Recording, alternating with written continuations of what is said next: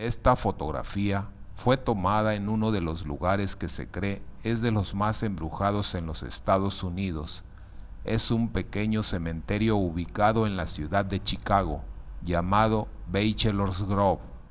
Se encuentra localizado en los alrededores de la reserva forestal Rubio Woods, cercano al suburbio de Midlothian, en el estado de Illinois.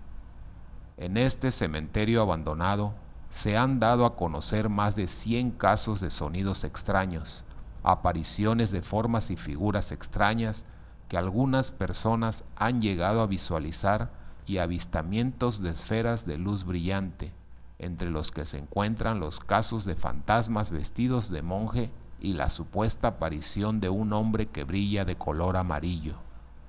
Algunos miembros de la organización Ghost Resort Society llevaron a cabo una investigación en este lugar el 10 de agosto de 1991 y una de sus integrantes llamada Mary Hoff, durante el tiempo que estuvieron en el cementerio, tomó fotografías en blanco y negro con una cámara infrarroja, en un sitio en el cual el equipo tecnológico que llevaban sus compañeros había detectado cosas raras. Según los investigadores, el cementerio se encontraba completamente vacío.